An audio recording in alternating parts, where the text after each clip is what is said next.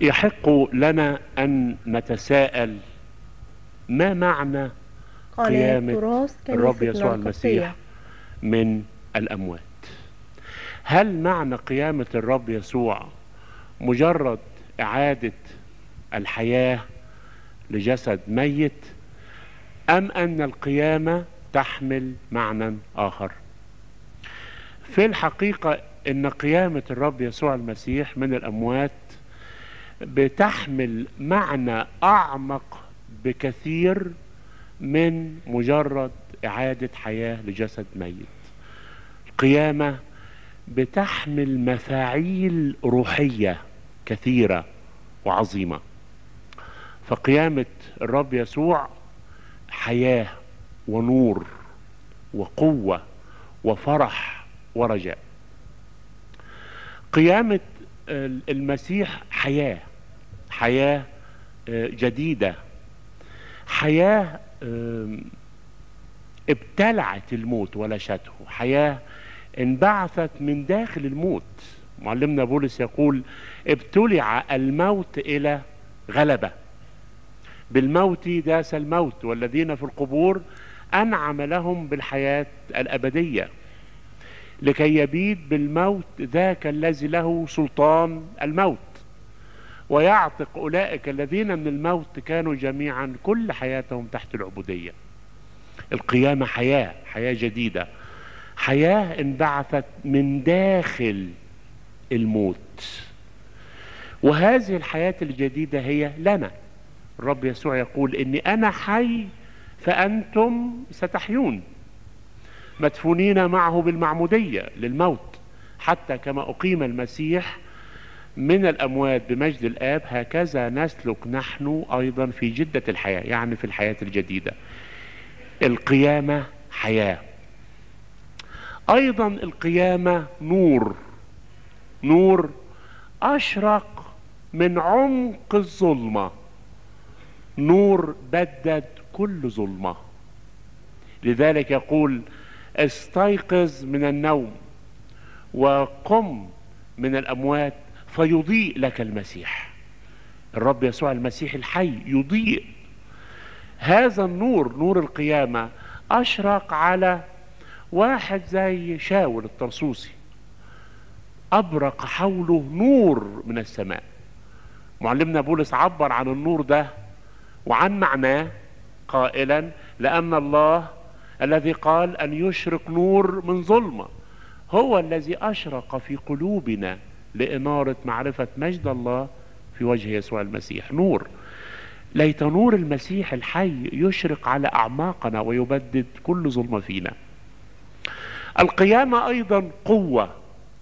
قوة تفجرت من عمق الضعف. الرب يسوع المسيح وإن كان قد صلب من ضعف لكنه حي بقوة الله. الرب يسوع المسيح وهو على الصليب كان يبدو في منتهى الضعف لكنه قام بقوة غير عادية. والقوة تفجرت من عمق الضعف ودي فعالية القيامة في حياتنا. أن القيامة قوة تبدد الضعف بل القيامة قوة من داخل الضعف قوة. معلمنا بولس يقول لأعرفه وقوة قيامته. القيامة أيضا فرح. فرح. فرح أيضا انبثق من عمق الأحزان وبدد كل الأحزان. فرح التلاميذ إذ رأوا الرب. فرح لا ينطق به ومجيد. الرب يسوع قبل الصليب قال للتلاميذ أنتم كذلك الآن عندكم حزن لكني سأراكم أيضا فتفرح قلوبكم. ولا ينزع أحد فرحكم منكم. فرح لا ينزع منا. لا يستطيع أحد أو شيء أن ينزع هذا الفرح منا لأنه فرح غير متوقف على الظروف. فرح آتي من الرب الحي اللي حول كل الأحزان إلى أفراح. قيامة أيضا رجاء رجاء انبثق من هوة اليأس. رجاء لا يخزى. بدد وأبطل كل يأس. قديس بطرس يقول مبارك الله أبو ربنا يسوع المسيح الذي حسب رحمته الكثيرة ولدنا ثانية لرجاء حي بقيامة يسوع المسيح من الأموات. رجاء حي لا يموت لا يخزى لا يفشل لا يخيب لأنه مرتكز على أساس حي راسخ هو الرب يسوع المسيح. إذا القيامة حياة قيامة نور قيامة قوة القيامة فرح القيامة أيضا رجاء. لكن كل هذه المفاعيل في الحقيقة التلاميذ رأوا عكسها في الصليب. التلاميذ رأوا عكس كل هذه المفاعيل في الصليب. الصليب كما رآه التلاميذ موت لكن القيامة حياة. رأى التلاميذ في الصليب ظلمة لكن القيامة نور. رأى التلاميذ في الصليب ضعف لكن القيامة قوة. رأى التلاميذ في الصليب حزن ويأس لكن القيامة فرح ورجاء. لكن نستطيع أن نقول أن القيامة احتوت الصليب وأعطته معناه الفدائي والكفاري. القيامة احتوت الصليب وأعطته معناه الفدائي والكفاري. بدون القيامة الصليب يعتبر هزيمة وضعف وموت. لكن بقيامة المسيح ظهر الصليب انه قوة ونصرة وحياة. لذلك لا يوجد صليب بدون قيامة ولا قيامة بدون صليب. بل نستطيع أن نقول أن الصليب والقيامة وجهان لعملة واحدة. ارتباط الصليب بالقيامة في الحقيقة هي دي الاختبار الروحي المسيحي اللي إحنا بنعيشه. إحنا من أجل المسيح نمات كل النهار ادي الصليب. لكن كمالة الآية ولكننا في هذه جميعها يعظم انتصارنا بالذي أحبنا هي دي القيامة. إن كنا نتألم معه. ادي الصليب. لكي نتمجد أيضا معه أدي القيامة. اذا القيامة هي اللي إدت الصليب معناه الفدائي والكفاري إدته قيمته. الموت اللي ماته الرب يسوع المسيح عن طريق الصليب صلب الرب يسوع أفضى به إلى الموت. الرب يسوع المسيح قبل الموت لأجلنا بملء اختياره لأن الموت ما كانش ضرورة حتمية على الرب يسوع. هو قبل هذا الموت طوعا واختيارا. معلمنا بولس يقول أن الموت الذي ماته قد ماته للخطية مرة واحدة وأما الحياة التي يحياها فيحياها لله. اذا الرب يسوع المسيح قبل الموت لأجلنا لذلك قام. قام ناقضا أوجاع الموت إذ لم يكن ممكنا أن يمسك منه. قام ولن يسود عليه الموت بعد. من هنا نشأ السؤال اللي إحنا قرأناه في لوقا 24 لماذا تطلبنا الحي بين الأموات؟ هو صلب ومات لأجلنا لكنه قام. من هنا ينشأ السؤال لماذا تطلبنا الحي بين الأموات؟ ممكن نحط السؤال ده بس في عبارة أخرى. لماذا تنظرنا وتتعاملنا مع المسيح على أنه ميت وهو حي. هل المسيح بالنسبة لكم ميت ولا حي؟ الرب يسوع المسيح عندما صلب صلب على رؤوس الأشهاد كل الناس شافته. لكن عندما قام من الأموات لم يرى قيامته إلا القليلين الأغلبية لم يروه وهو قائما. وبالتالي أصبح هناك البعض يقولون أن يسوع ميت والبعض الآخر يقول أن يسوع حي. بل نستطيع أن نقول أن البعض الأكثر يقول أن يسوع ميت والأقلية المؤمنة تقول أن يسوع حي. الوضع ده ظل في المجتمع اليهودي فترة طويلة إلى درجة أن معلمنا بولس الرسول وهو يحاكم أمام فيستوس الوالي نجد أن فيستوس يقول لأغرباس الملك عن بولس وعن اليهود المشتكين عليه كان لهم عليه مسائل من جهة ديانتهم وعن واحد اسمه يسوع قد مات لكن بولس يقول أنه حي.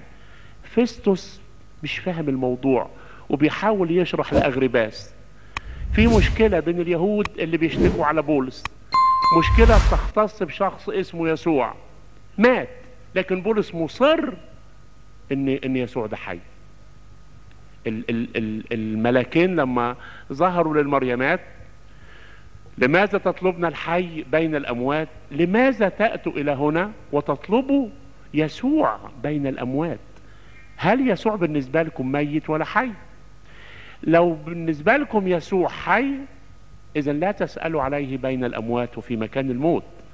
أما إن كان يسوع بالنسبة لكم ميت الملاك يكمل ليس هو ها هنا لكنه قام.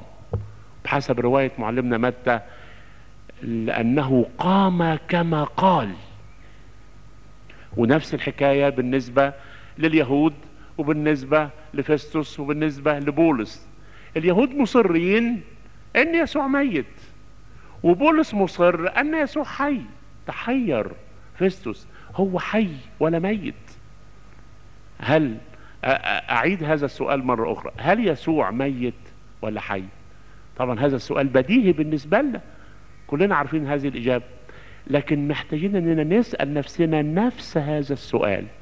هل يسوع ميت أم حي؟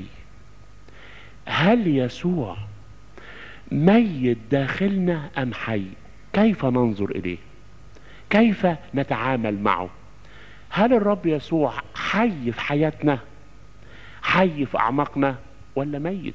كيف ننظر إليه وكيف نتعامل معه؟ هذا هو موضوع تأملنا الهام اليوم. لماذا. تطلبنا الحي بين الأموات؟ والسؤال المطروح على كل واحد فينا هل يسوع بالنسبة لنا ميت أم حي؟ هنتأمل في بعض الشخصيات البعض منها رأى أن الرب يسوع ميت والبعض الآخر آمن أنه حي. الشخصية الأولى التي نتأمل فيها شخصية مريم المجدلية. مريم شخصية أمينة أمينة للغاية وكان ليها علاقة عميقة آه، بالرب يسوع المسيح. عشان كده موت الرب يسوع على الصليب شكل بالنسبة لمريم صدمة عنيفة صدمة شخصية وصدمة عاطفية أيضا. لكن مريم غلبت صدمتها وذهبت إلى القبر والظلام باق. وأول ما وصلت القبر وجدت أن الحجر مرفوعا. أول ما وجدت الحجر مرفوع نتصور إن أول فكر يأتي على ذهن مريم مفروض يكون إيه؟ مفروض إنها تفكر إنه قام. من سيأخذ الجسد الميت؟ مين اللي ياخده؟ التلاميذ استحالة اليهود استحالة الرومان يعملوا إيه بجسد يسوع الميت؟ لكن هي تصورت إن جسد السيد قد أخذ تركت القبر وركضت لتخبر بطرس ويوحنا قد أخذوا السيد ولسنا نعلم أين وضعوه. ليه مريم بتفكر بالطريقة دي؟ مريم ذهنها وأعماقها توقفوا عند حد الموت. مريم كان يسوع بالنسبة لها مات ما كانش حي. عشان كده ذهنها متوقف عند حد الموت. لم تستطع أن تتجاوز هذا الفكر لم تستطع أن تفكر في القيامة. كان كل أمنيتها الجسد الميت. نستطيع أن نتخيل ولو قليلا يعني إن مريم عندما صدمت بموت الرب يسوع المسيح بهذه الطريقة ذهبت إلى القبر مش بس عشان تكفنه ذهبت إلى القبر لكي تعاتبه. كيف تموت وتتركني؟ الرب يسوع بالنسبة لمريم كان كل شيء ولما تركها فقدت كل شيء. نستطيع أن نقول إن حياة مريم المجدلية توقفت عند لحظة موت المسيح على الصليب. كيف تموت وتتركني؟ كيف تموت وتتركني هكذا بلا أي معين؟ لماذا لم تنزل من على الصليب وتنقذ نفسك لأجلي؟ العاطفة هنا هي اللي بتتكلم. مريم كان ذهنها متوقف عند حد الموت أو باللغة الروحية. يسوع كان ميت بالنسبة لمريم مع إنه كان في اللحظة دي حي وقائم. نترك مريم وننظر إلى التلميذين. ركضوا بسرعة وأتوا للقبر ووجدوا الأكفان موضوعة بكل حرص. يوحنا الحبيب رأى فآمن ثم عاد التلميذان إلى موضعهما. طب ومريم فين؟ لسه مريم عند القبر. عند القبر. طب ليه عند القبر؟ أصل يسوع بالنسبة لها ميت بتبكي بكاء وحيرة. فقدت كل شيء. فقدت يسوع الحي بالصليب وفقدت جسد يسوع الميت لأن القبر فارغ. فقدت كل شيء. عشان كده أول ما رأت ذاك الذي ظنت أنه البستاني يا سيدي إن كنت أنت قد حملته فقل لي أين وضعته وأنا آتي وأخذه. مريم كانت ذهنها متوقف تماما عند الانحصار في الموت والحزن واليأس. هذا الانحصار حجب استعلان القيامة عنها تماما. مش قادرة تستوعب إن المسيح قام. عشان كده في اللحظة دي كانت مريم محتاجة إلى صدمة أخرى. تسمعوا عن العلاج بالصدمة؟ صدمة الصليب كان لابد إن الرب يسوع يعالجها بصدمة أكثر قوة تستطيع أن تخترق الحصار أو الانحصار اللي فيه مريم وتديها استفاقة. عشان كده الرب يسوع المسيح قال لها يا مريم. أحد شراح الكتاب المقدس علق على الكلمة دي تعليق لطيف لأن الرب يسوع وضع في نبرة صوته نبرة معينة خلت مريم استعادت كل علاقتها القديمة بشخص المسيح. استفاقت. انكسر الانحصار اللي كانت فيه.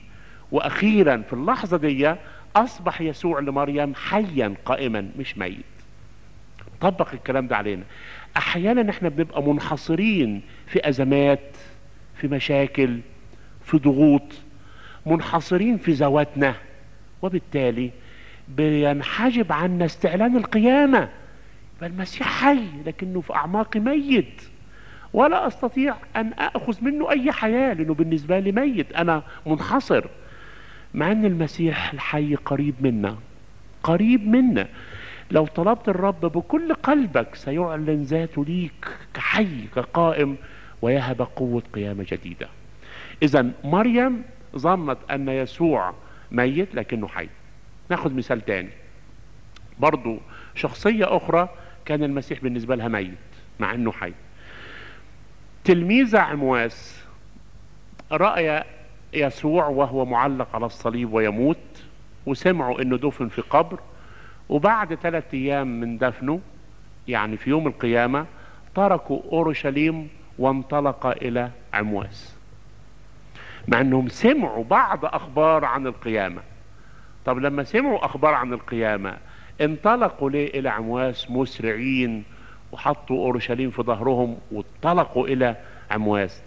ببساطة لأن يسوع بالنسبة لهم كان ميت. يسوع بالنسبة لهم كان ميت مش حي. طيب ميت ليه؟ برضو تلميذي عمواس عانوا نوع آخر من الصدمة في الرب يسوع.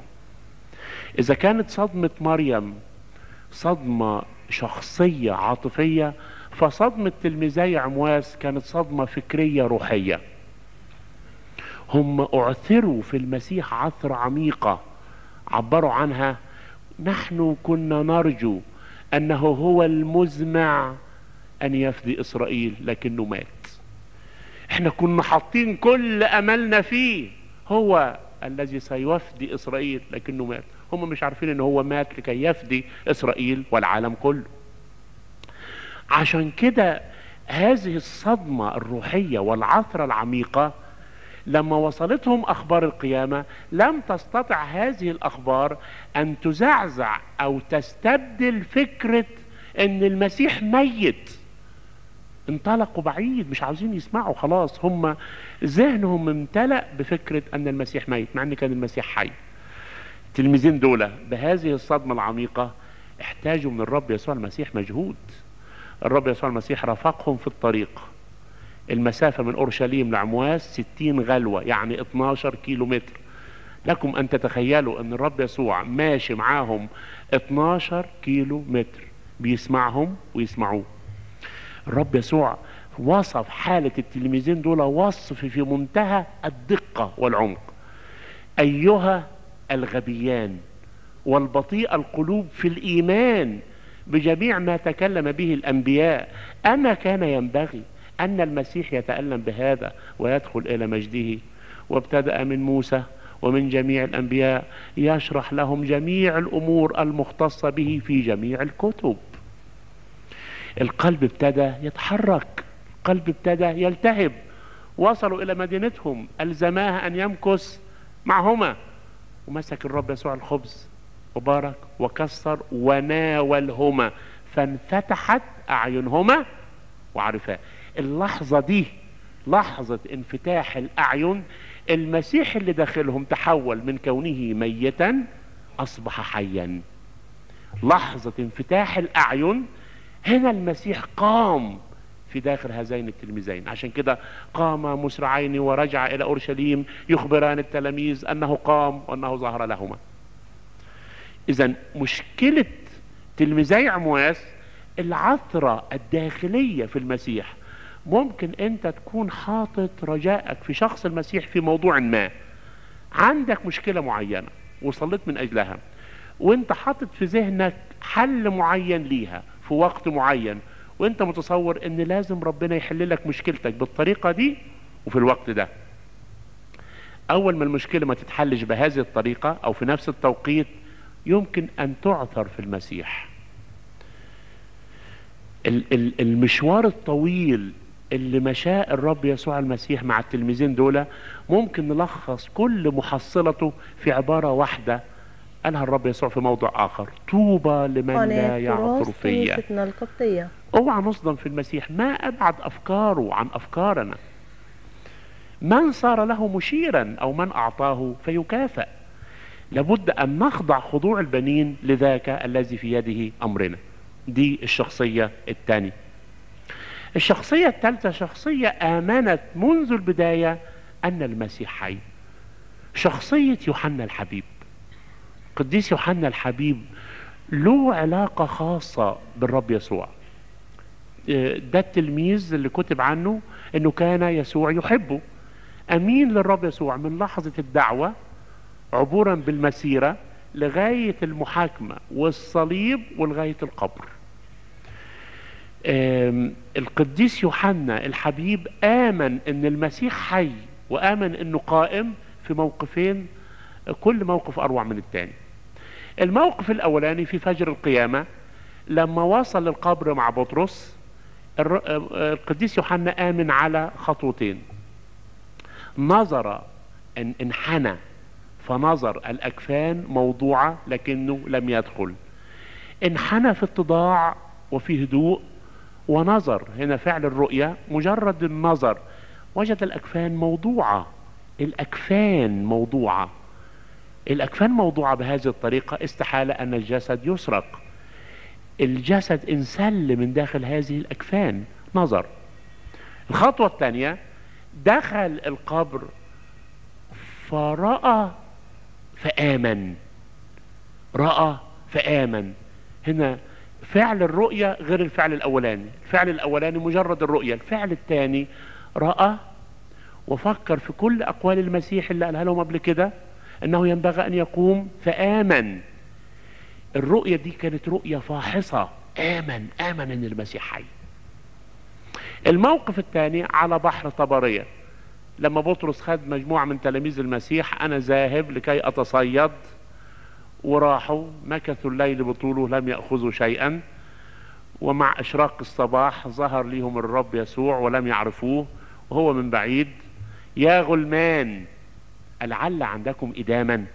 يا غلمان غلمان يعني إيه؟ يا فتيان أطفال صغيرين يعني.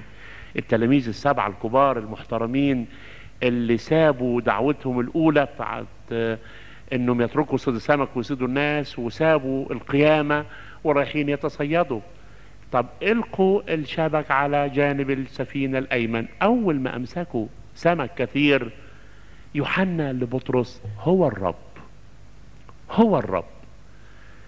يوحنا كان عنده إيمان أن المسيح حي هو الرب. عرف منين؟ يوحنا كان له عشرة وشركة خاصة مع المسيح. كان له محبة خاصة بتربطه بشخص المسيح. هذه العشرة والشركة والمحبة أدت ليوحنا بصيرة روحية. عن طريق هذه البصيرة استطاع أن يدرك ويفهم ويؤمن أن يسوع حي. نستطيع أن نقول أن يسوع الحي ملأ أعماق يوحنا ويوحنا عاش على الدوام مع يسوع الحي فأصبح يسوع حي في أعماق يوحنا على الدوام إلى أبد الأبد. العشرة والشركة اللي بينه وبين المسيح خلته يؤمن ويدرك إن المسيح حي. إحنا تعوزنا هذه العشرة والشركة والمحبة. لو لنا عشرة حقيقية مع المسيح هيكون الرب بالنسبة لنا حي على الدوام.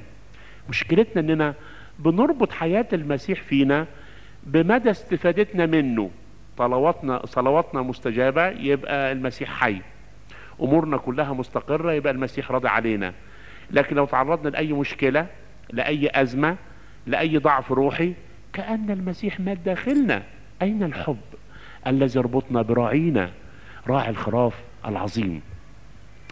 الشخصية الرابعة برضو أمنت أن المسيح حي. هي شخصية معلمنا بولس الرسول. من يقرأ عن بولس ورد عنه عبارة لطيفة في أعمال 17 بولس في كل مكان كان يكرز ويبشر بيسوع والقيامة. كان يكرز ويبشر بيسوع وبالقيامة. بولس كان في كل مكان يكرز أن المسيح قائم حي. وأمام فيستوس الوالي أصر إنه حي. طب ليه أصر؟ ببساطة لأنه رآه لأنه تكلم معه. لأنه اختبره لأنه عاش معاه.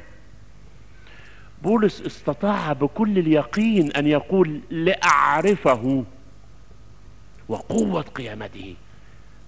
هل نستطيع أن نقول لأعرفه أنا أعرف المسيح؟ بولس استطاع أن يقول لي الحياة هي المسيح. الحياة بالنسبة لي هي المسيح. لو شلت المسيح من حياتي أنا ماليش أي حياة مش عايزها الحياة دي. والموت هو ربح. اذا إصرار بولس على الكرازة بيسوع الحي لأنه شافه لأنه عرفه لأنه اختبره لأنه عاش معاه. المسيح حي فيه. إذا لو أنا فعلا المسيح حي فيا وأنا أعرفه معرفة حقيقية مش ممكن أشك لحظة في حياة المسيح فيا. بمعنى دايما الأباء الروحيين يذكرونا بأن من السهل ومن اليسير أن نتبع يسوع في أمور حياتنا المستقرة. لكن اختبار الإيمان يحتم علينا أن نتبعه حتى لو ظروفنا غير مستقرة. يسموها الإيمان مع غياب الأدلة. معلمنا بولس كان مختبر المسيح. عشان كده في شدائد في ضرورات في ضيقات. هو اللي قال إن من أجلك نمات كل النهار لكن يعظم انتصارنا بالذي أحبنا. بولس كان واثق إن المسيح حي. لا يزال السؤال مطروح علينا بقوة. هل يسوع حي داخلك ولا ميت؟ حي في حياتك؟ حي في مسيرتك؟ في منتهى الأهمية أن يكون المسيح حي لأن معنى أن المسيح حي معناه حياتنا إحنا. أني أنا حي فأنتم ستحيون. معناه تجديد لكل الحياة. الحزن يتبدد الخوف يتبدد الموت ينتهي. آه، معناه رد النفس زي ما ردت المزاي عمواس المسيح حي معناه تغيير مسار الحياة زي ما غير مسار حياة شاول الطرسوسي وخلاه بولس الكارز العظيم. المسيح حي معناه رجاء لا يخزى. إحنا لينا رجاء بس في المسيح. ملناش رجاء في هذا العالم إلا في شخص المسيح بس. هو اللي بيدينا قدرة على الاستمرار قدرة على الحياة قدرة على الصمود قدرة على الفرح مهما كانت الضغوط. لابد أن يكون يسوع حي فينا. لابد أن نتمسك بديه. يا رب من فضلك. أسكب فينا حياتك. شوفوا الوعد الرائع اللي بيقدمه لنا الكتاب المقدس. الله أعطانا حياة أبدية. وهذه الحياة هي في ابنه. من له الابن له الحياة ومن ليس له ابن الله ليس له حياة. يا رب من فضلك هبنا الحياة التي في ابنك. دي الحياة الأبدية. دي الحياة اللي لا يغلبها الموت. دي الحياة اللي قيل عنها وكتب عنها. قوة حياة لا تزول. لو حياة المسيح منسكبة فينا بقوة وإحنا بنعلن احتياجنا الصادق في كل لحظة لهذه الحياة لن يقترب إلينا الموت. بالموت داس الموت. هو ما داسوش لنفسه داسوا لينا. والذين في القبور أنعم لهم بالحياة الأبدية. ما هو إحنا اللي كنا في القبور. قبور الخطية وقبور الشهوة. الرب يسوع المسيح داس الموت لأجلنا. ووهبنا حياة لا يغلبها أي موت. الرب يسوع المسيح الحي القائم يهبنا هذه الحياة بفيض وبغنى. لأنه قام وأقامنا معه ولله كل مجد إلى الأبد. آمين.